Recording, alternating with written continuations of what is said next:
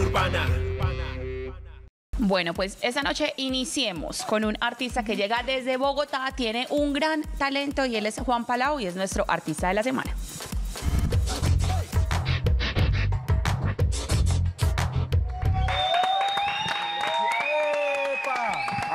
Adelante, loco. Que llega el loco. Loco, pero loco no es que está el man, como- sino que trajo una canción que se llama Loco. Pero yo sí le un poquito quiero loco, ¿no? decir Hasta una un poquito cosa, Juan. loco. Ah, bueno. Él es el primer invitado, creo que casi en la historia de Capital Urbana, que se sienta en medio de dos estoy niñas así a medio nervioso y todo, estoy así como que... No, pero un honor. Vea pues, me Pero habrá acompañado para dónde. Así es. Juan Palau, pues es un artista que viene produciendo muy buena música. El hombre utiliza fusiones urbanas bastante interesantes. Ahorita ustedes las van a poder eh, apreciar a través de su, de su música, de su video y todo el cuento. Y le damos la bienvenida esta noche a Capital Urbana. ¿Cómo has estado? Mix, parcero, muy bien, contento de estar aquí en Capital Urbana, contento de estar en Medellín, hablando de música, proyectos, bueno, miles de cosas. Miles de cosas. Miles de cosas. Loco. Loco. Pero loco no es vos solo. No. O sea, son dos locos los Somos que están locos. participando Somos ahí. los dos locos que estamos ahí. Un parcero de Barranquilla que se llama Arjan, que tiene una voz brutal, súper talentoso, y Juan Palau. ¿Cómo les sos de fue? acá de Medellín. Sí. No, yo soy enrasadito. Es más de Cartago Valle, que es cerca Pereira. No sé si han escuchado Cartago. Sí, claro. Pero ese tumbado es paisa. ¿Será? Ese tumbado que tenés en la se voz pega, se les es pega uno muy rápido, se pega muy rápido. Pero te quedó original. Sí, Le quedó ya igualito. pues quedó bien copiado. 303 Music de Bogotá es el estudio donde le dieron vida a Loco, la nueva producción de Juan Palau que estamos hoy presentando en esta capital urbana. ¿Cómo le fue grabando con 303 Studio? Parce, muy bien. 303 son parceros míos hace mucho tiempo. eh, y fue un parche de amigos. Esa noche grabando Loco fue un parche más de amigos que, hey, vamos a tomarnos algo al estudio, parchémonos. Y empezamos a hablar de lo que muchas veces hablamos cuando estamos solo los hombres, que son las mujeres. Es que hablar de esto así como entre estas dos mujeres lo pone uno como Nervioso. como nervioso, ¿sí o qué? muchacho. Como intimidado. Y la mujer lo vuelve loco a uno. Una mujer siempre lo vuelve loco a uno con una mirada, una sonrisa, un beso. Así que terminamos hablando de esto y nos metimos de una a grabar. La canción se hizo en una sola noche. Él toca un tema muy importante de los hombres y es que, aunque ustedes no lo crean, los hombres nos mostramos entre hombres los chats y pedimos opinión. ¿Es Los verdad es mentira? Sí, claro. Hey, pana, mira lo No, que y le escribí. pantalazos. Diga, ¿Qué le diga, ¿Qué le digo? ¿Qué le digo? ¿Qué le digo? No, Y el otro llega y le dice, "Ah, no, usted ya va ganando, parcero, tírese de una vez al charco y el mar se tira y ya después le dicen, no, es que esa no era mi intención. Sí. No, pa- pero yo, yo le muestro a los padres, pues le muestro a, a la amiga de confianza. Porque es que uno ve hombre, él, él da el consejo mal. Estamos sinceros. En cambio, la amiga le dice, no, a mí me gustaría que me dijeran esto. Entonces no o va a más a ella la le fija. gusta o ella está ella esperando más- tal cosa o ella. Más fácil. o- o- Ella o traduce más fácil el Exacto. chat, entonces es mejor o a no vayas tan rápido o no vayas tan despacio. Eh, leyendo un poco la historia de Juan, veo que también estuviste vinculado a la, a la actuación, ¿cierto? Sí, sí, Si sí. tuvieras que escoger entre la música y la actuación, ¿con qué te quedas? Ay, yo creo que no, yo creo que no hay que elegir, yo creo que van de la mano, es un complemento total. Eh, yo estudié teatro y me ha ayudado mucho para mi puesta en escena. La verdad, yo creo que un artista, más allá de cantar canción tras canción en una tarima, tiene que tener un complemento, saber expresarse, tener una historia por contar en un escenario, más allá de cantar hit tras hit. Hay que ser un performer, hay que interpretar la música y para eso me ha servido mucho el teatro y van totalmente de la mano. Pero si tuvieras, bueno, eh, ¿voy a dedicarme a la música o voy a dedicarme a la actuación? A la si tuvieras música. que escoger a la A música. la música, Es sí, más sí, complejo la actuación. No, las dos son muy complejas. Son carreras muy complejas las dos. Pero me iría de frente con la música. Me apasiona mucho más. Pero es que también es que la actuación, sí, pero la música también. También, exacto. O Una sea, ahí es- como es, que. es imprimirle, por ejemplo, a los videos, ¿cierto? Ese, esos talentos que has podido adquirir en la actuación, imagino yo. Así es, así es, total. Es súper necesario.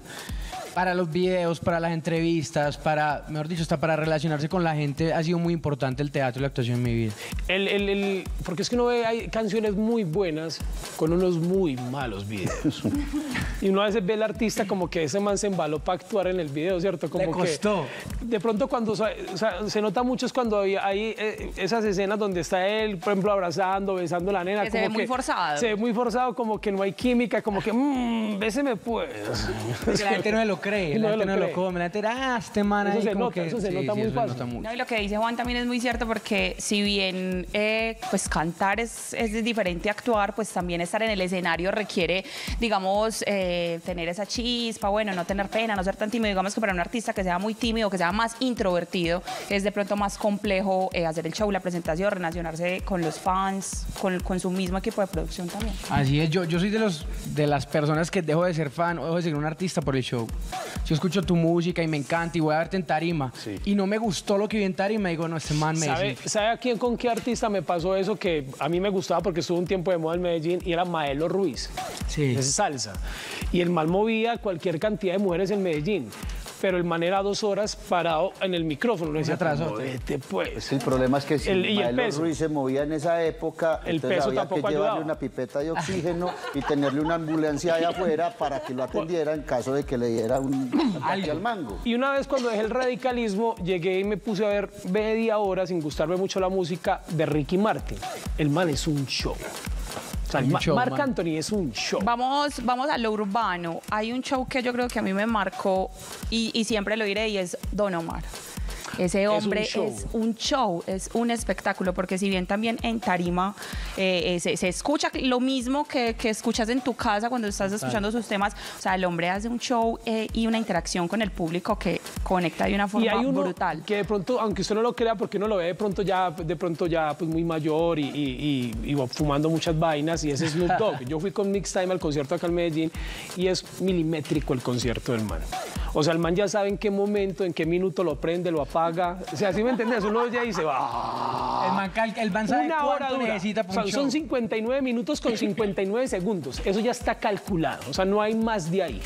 Es muy teso. Es muy Pero en el caso de Juan Palau, él puede, por ejemplo, aprovechar ese talento que tiene, que le ha dado la, la actuación, para imprimirle a su show partes Total, teatro. total. Ahí hay muchas cosas que hago. Me gusta mucho parar el show. O sea, yo hay momentos donde paro y hago interacciones con la gente que la gente como que no se las espera y a romper un poco esa cuarta pared que a veces tenemos los artistas, como que el público está allá, nosotros estamos aquí cantando y, y medio te miro, la buena, no, me gusta es parar y de repente interactuar, hablar directamente con la gente y es algo que pasa, que se construye con mis bailarines, con mi DJ, todos se montan en la película, todos hacen parte de, y en los ensayos a veces es complejo porque toca darle y darle mi DJ, por ejemplo, es muy introvertido, entonces me dice, ay, pero ¿cómo va a poner a hablar? Y yo, parce, todo bien que entonces montamos ciertas cosas que el público no se espera, que, que son bien interesantes, son, son bien brutales.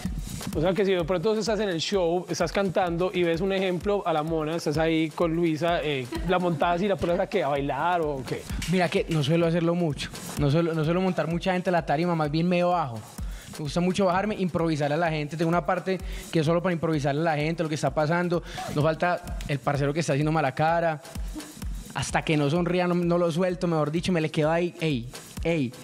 La mujer, obviamente, por ejemplo, está, está Los Ángeles, como, le- como, le- como dijiste, Mix, también no le improvisa, pero hay una parte, por ejemplo, que me pongo de un cursi, pero horrible. Entonces empiezo a tirar una parla, el poema, las flores. Mis bailarines, mi, mi DJ por detrás mío empiezan como, hey, este man que está haciendo, como saboteándome con la gente y ponen unos grillos como... trrr, trrr. Y yo empiezo ahí, entonces después el cura, el, el mi DJ vino a rumbear, no sé qué, ponen una canción de Ozuna, de Yankee, lo que es, entonces la gente se activa. Después yo sigo con la cursilería, canto una canción romántica, bueno, como que cosas que, que la gente no se espera dentro de un show urbano, un show de reggaetón. Capital Urbana, siempre con vos es Capital Urbana. Bueno, Juan, usted viene publicando anualmente desde 2015 diferentes canciones, diferentes es. éxitos, ¿cierto? Todos han tenido un recorrido, todos han tenido un registro importante de, de éxito, ¿cierto? La gente los ha aceptado muy bien. Ahora, en este 2019, con la publicación de la canción Loco, con todo lo que has tenido como recorrido, ¿cómo has sentido esa aceptación del público hacia tu música? Brutal, hace una evolución, hace un proceso de búsqueda. Yo empecé en el reggaetón desde el 2008, yo tenía un dúo que se llamaba Revolver me retiré, estudié teatro. Cuando volví quería como iniciar, o sea, no quería volver a lo que hacía con Revolver, sino tener una búsqueda basada como en el teatro, en lo que había aprendido. Y así una búsqueda constante desde Pa' la Playa, que fue mi primer sencillo, hasta Loco, que es lo más reciente. Eh, y ha sido brutal. Cada canción me ha ido abriendo puertas, he ido subiendo escalones bien interesantes. Y la gente ha notado esa evolución, ha notado el cambio. Y con cada canción llego mucho más lejos. Desde Bendito Pecado, que fue un sencillo el año pasado, eh, empecé a viajar a otros países, eh, desde Centroamérica, Sudamérica. Así que cada canción ha tenido una historia muy bonita y me ha abierto muchas puertas. Ese 2019, Juan, bueno, ya el año se acabó. Increíblemente, Sí. me parece como que ayer fue diciembre y ya otra vez vamos a empezar diciembre. Y ya aprendimos el alumbrado, por ejemplo. Ya aprendimos el alumbrado. Ese 2019 también estuvo cargado de cosas súper positivas. Estuviste nominado a los premios Mi Gente, eh, por allá al inicio, con Lo Sé. Eh, y bueno, entonces ahorita, digamos como que, ¿cuál es tu conclusión como de lo que fue este 2019, este año que dejó para Juan Palau? Fue un año brutal, un año brutal de muchas decisiones, de mucho crecimiento, de muchos viajes, muchísimo trabajo. Y, un año donde encontré algo más en mi carrera, que es lo que va a salir en 2020. Hay mucha música guardado, guardada, conocí facetas nuevas como en mi, en mi carrera, así que ha sido un año lleno de bendiciones, un año increíble y estoy muy agradecido con todo lo que sucedió en el 2019 y lo que está pasando, que no ha acabado, está que acaba, pero no ha acabado. Para el próximo año ya hay por ahí visos de que llegan nuevas nominaciones, Esperemos que de sí. que viene buena música. Esperemos que buena música va a haber, eso ténganlo por seguro, mucha, mucha música que espero estar aquí lanzando también.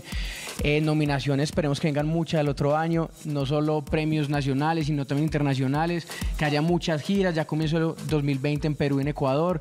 Eh, bueno, mucho trabajo, pero sobre todo mucha, pero mucha música. ¿Qué país ha aceptado mejor tu música dentro de lo que has sentido? Dentro de Paraguay. Paraguay. ha sido un país que me ha recibido muy bien, es impresionante. Desde que llego al aeropuerto, la gente se siente ese feeling y esa energía linda con, con los paraguayos.